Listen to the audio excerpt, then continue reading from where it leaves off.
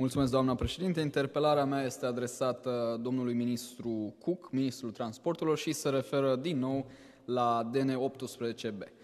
Stimate domnule ministru, la finalul lunii iunie mi-ați răspuns la o altă interpelare uh, faptul că pe tronsonul Baia Mare Târgu Lăpuș al DN18B uh, acest tronson va fi finalizat până la sfârșitul lunii august 2019. Suntem în septembrie și situația este neschimbată. Ba mai mult, am aflat din presă că DNA a demarat o anchetă legată de acest uh, drum și că Inspectoratul de Stat în Construcție a decis încă din iunie să sisteze orice lucrare pe sectorul amintit.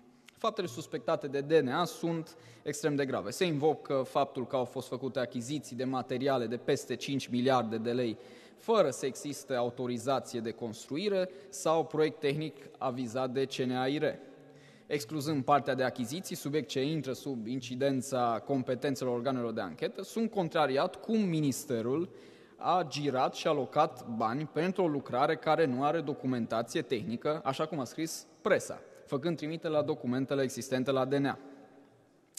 În cazul în care suspiciunile se confirmă, ne aflăm în fața punerii în pericol, inconștient, a siguranței celor care au traversat sectorul de drum reabilitat. Vă reamintesc că participanții la trafic au semnalat pericolul pe care îl constituie acostamentul drumului, uh, realizat din produse de balastieră, care este total lipsit de aderență. De altfel, au fost semnalate chiar și numeroase accidente în zonă.